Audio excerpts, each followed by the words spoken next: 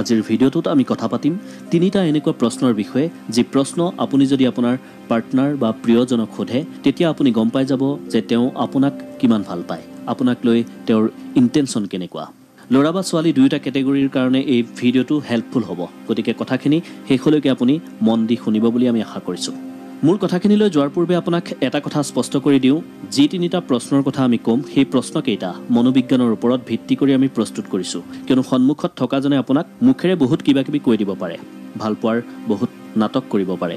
কিন্তু সঁচা অৰ্থত তেওঁৰ মনত আপোনাৰ প্ৰতি তেনেকুৱা মৰম নাথাকিবও পাৰে। তেওঁৰ ইণ্টেনশ্যন হয়তো সুকীয়াও হ'ব পাৰে। আজিৰ এই প্ৰশ্নকেইটা আপোনাৰ বাবে এনেদৰে সাজু কৰা হৈছে। যদি আপুনি সেই ধৰণেই আপোনাৰ পাৰ্টনাৰক এই প্ৰশ্নকেইটা কৰে তেওঁ তাৰ উত্তৰ আপোনাক নিদিয়াকৈ থাকিব নোৱাৰিব। আৰু আপুনিও গম পাই যাব যে তেওঁ আপোনাক সঁচাই ভাল পায় নে নাই। যদি ভাল পায় তেন্তে কিমান ভাল পায়? তেওঁৰ ইণ্টেনশ্যন কি? আদি বহু কথা আপুনি ক্লিয়াৰ হৈ যাব। এই ভিডিঅ'টো বনোৱাৰ আমাৰ ইণ্টেনশ্যন বা অভিপ্ৰায় হৈছে যে আপুনি আপোনাৰ পাৰ্টনাৰৰ ইণ্টেনশ্যন বা অভিপ্ৰায় যাতে বুজি পায়। তেওঁৰ মতলব কি তেওঁ আপোনাৰ লগত কিয় আছে তেওঁ আপোনাৰ সৈতে যি কৰি আছে কিয় কৰি আছে? তেওঁ কিমান দিন আপোনাৰ সৈতে থাকিব বিচাৰে কি উদ্দেশ্যে এতিয়া আপোনাৰ লগত আছে আদি অজস্ৰ প্ৰশ্নৰ উত্তৰ আপুনি যাতে পায় তাৰ বাবে এই ভিডিঅ'টো আমি আপোনাৰ বাবে তৈয়াৰ কৰিছোঁ। আগবাঢ়িছোঁ প্ৰথম প্ৰশ্নটোলৈ। প্ৰথম প্ৰশ্নটো আপুনি মন কৰিব তুমি মোক কিয় ভাল পোৱা? এই প্ৰশ্নটো যেতিয়া আপুনি প্ৰথমে আপোনাৰ পাৰ্টনাৰক সুধিব তেতিয়া তেওঁ যি উত্তৰ দিব তাৰ পৰাই আপুনি গম পাব যে তেওঁ আপোনাক কিমান ভাল পায় বা তেওঁৰ মতলব কি। ইয়াত তেওঁৰ উত্তৰ আহিব যে গম নাপাওঁ। আপুনি সুধিছিল যে তুমি কিমান ভাল পোৱা। উত্তৰটো হৈছে গম নাপাওঁ। মানে মই আপোনাক বা তোমাক কিমান ভাল পাওঁ মই গম নাপাওঁ বা অনুভৱ কৰিব নোৱাৰোঁ। সঁচা ভাল পোৱাজনে আপোনাক এইদৰেই উত্তৰ দিব। যদি উত্তৰটো এনেদৰে আহে যে তুমি বহুত ধুনীয়া তোমাৰ মনটো বহুত ভাল তোমাৰ হৃদয়খন বহুত কোমল সেইবাবেই মই তোমাক ভাল পাওঁ। তেতিয়া এই কথাকেইটা আপুনি মন কৰিব। যদি আপুনি ধুনীয়া নহ'লহেঁতেন তেন্তে কি তেওঁ আপোনাক ভাল নাপালেহেঁতেন? আপুনি যে সদায় ধুনীয়া হৈ থাকিব সেইটোওতো নহয়। যদি দেখিবলৈ বেয়া হৈ যায় আপোনাক কি তেওঁ ভাল পাবলৈ এৰি দিব? আপোনাৰ মনটো বহুত ভাল বা আপোনাৰ হৃদয়খন বহুত কোমল সেইবাবে আপোনাক ভাল পাওঁ। তাৰমানে আপোনাৰ কিছুমান কথা বা আপোনাৰ কামে তেওঁক সেয়া অনুভৱ কৰাইছে। আপুনি এনেকুৱা কিছুমান কাম কৰিছে যি কামৰ দ্বাৰা তেওঁ অনুভৱ কৰিছে যে আপোনাৰ মনটো কোমল আপোনাৰ হৃদয়খন কোমল। যদি আপুনি কৰা সেই কামখিনি কম বেছি হয় সদায় যে একেই থাকিব সেইটোওতো নহয় যদি আপুনি দিয়া সেইখিনি তেওঁ কম অনুভৱ কৰে তেতিয়া তেওঁৰ ভাল পোৱা কমি যাব পাৰে। আমি কি ক'ব বিচাৰিছোঁ আপুনি নিশ্চয় বুজি পাইছে। এনেধৰণৰ উত্তৰ নিদি যদি তেওঁ কোনো জোখ মাখ নকৰাকৈ আপোনাক কয় যে মই নাজানো বা গম নাপাওঁ কিয় আপোনাক ভাল পাওঁ মুঠতে ভাল পাওঁ তেতিয়া বুজিব যে তেওঁ আপোনাক সঁচাই ভাল পায় বা বহুত ভাল পায়। দ্বিতীয় কুৱেশ্যনটোলৈ যোৱাৰ পূৰ্বে যদি আপুনি এই ভিডিঅ'টো এইখিনিলৈকে চাই ভাল পাইছে তেন্তে চেনেলটো ছাবস্ক্ৰাইব কৰি বেল আইকনটো ক্লিক কৰি থওক যাতে এনেধৰণৰ নতুন নতুন ভিডিঅ' আপুনি কেতিয়াও মিছ কৰিবলগীয়া নহয়। আগবাঢ়িছোঁ দ্বিতীয় প্ৰশ্নটোলৈ। দুই নম্বৰ প্ৰশ্নটো হৈছে তোমাৰ ঘৰৰ মানুহে যদি তোমাক আন কাৰোবাৰ সৈতে বিয়া দিয়ে তেতিয়া কি কৰিবা?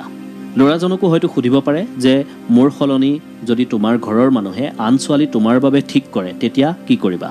প্ৰথমে ইয়াৰ উত্তৰটো আপুনি চাই লওক। উত্তৰটো হৈছে ইমান কাৰো সাহস নাই।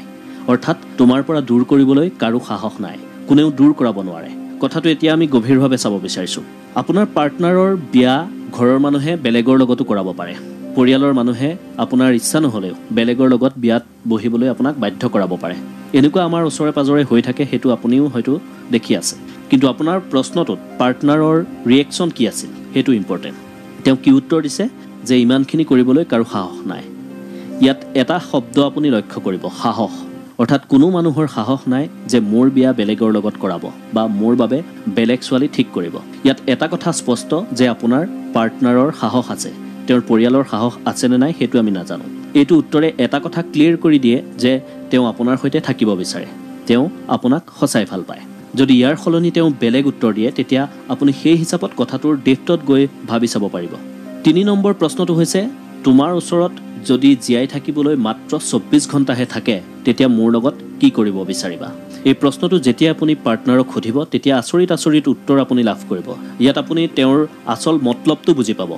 প্ৰথমে আমি উত্তৰটোলৈ আহিছোঁ। আচল উত্তৰটো হৈছে যে তোমাৰ কোলাতেই জীৱন ত্যাগ কৰিব বিচাৰিম। প্ৰশ্নটো কি আছিল? যে তোমাৰ ওচৰত যদি জীয়াই থাকিবলৈ মাত্ৰ চৌব্বিছ ঘণ্টাহে থাকে অৰ্থাৎ জীয়াই থাকিবলৈ মাত্ৰ এটা দিন পাব। প্ৰশ্নটো এনেকৈ নকৰিব যে তোমাৰ ওচৰত জীয়াই থাকিবলৈ চৌব্বিছ ঘণ্টা যদি বাকী থাকে তেতিয়া কি কৰিবা? কি কৰিবাই নহয় মোৰ লগত কি কৰিবা? এই শব্দটো আপুনি ইউজ কৰিব মোৰ লগত। যদি অকল সোধে কি কৰিব বিচাৰিবা তেতিয়া চিম্পুল উত্তৰ আহিব। মই চবৰে লগত কথা পাতিব বিচাৰিম চবকে লগ পাব বিচাৰিম এইটো খাব বিচাৰিম আদি বিভিন্ন উত্তৰ আপুনি পাব। কিন্তু স্পেচিয়েলি মোৰ লগত শব্দটো আপুনি ব্যৱহাৰ কৰিব লাগিব। মোৰ লগত কি কৰিব বিচাৰিবা? চৌব্বিছ ঘণ্টাত। হয়তো কোনোবাই ক'ব পাৰে তোমাক মৰম কৰিব বিচাৰিম তোমাৰ লগত ফুৰিব বিচাৰিম পূৰা চৌব্বিছ ঘণ্টা তোমাৰ সৈতে ভালদৰে পাৰ কৰিব বিচাৰিম প্ৰতিটো ছেকেণ্ড তোমাৰ সৈতে থাকি পাৰ কৰিম বা কোনোবা ল'ৰাই হয়তো কৈ দিব পাৰে যে তোমাৰ সৈতে ফিজিকেল হ'ব বিচাৰিম তোমাক কিছ কৰিব বিচাৰিম আদি বহুত উত্তৰ আহি যাব। কিন্তু প্ৰকৃততে যিজনে আপোনাক ভাল পাব তেওঁ কেৱল এটাই উত্তৰ দিব যে তোমাৰ কোলাতেই শুই জীৱনটো ত্যাগ কৰিব বিচাৰিম। কাৰণ যি সঁচাই ভাল পাব তেওঁ এইটোৱেই ভাবিব যে এতিয়া আৰু জীৱনটো যিহেতু নাথাকিব সকলো যিহেতু শেষ হ'ব গতিকে অন্তিম উশাহটো যাতে তেওঁৰ কোলাতেই ল'ব পাৰি। শেষ উশাহটোৱে যাতে তেওঁতেই জিৰণি লয়। এই কথাই প্ৰমাণ কৰে যে তেওঁ আপোনাক কিমান ভাল পায়।